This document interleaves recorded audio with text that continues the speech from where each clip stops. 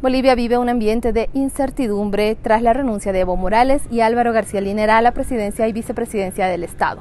También las dimisiones de ministros y altas autoridades del Ejecutivo. El presidente Evo Morales, cuando presentó ayer su dimisión en el trópico cochabambino, llamó a la comunidad internacional a denunciar esto que él considera un golpe de Estado.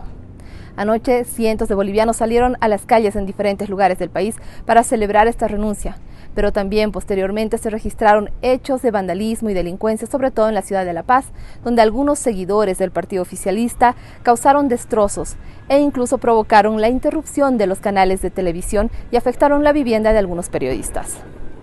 Ahora lo que necesita Bolivia es el gobierno de transición, algo que estaría en manos de la senadora opositora Yanine Áñez, que ya se ha trasladado a la sede de gobierno para llamar a la Asamblea Legislativa a una sesión que determine este gobierno de transición y el llamado a las elecciones, a unas nuevas elecciones en los próximos 90 días.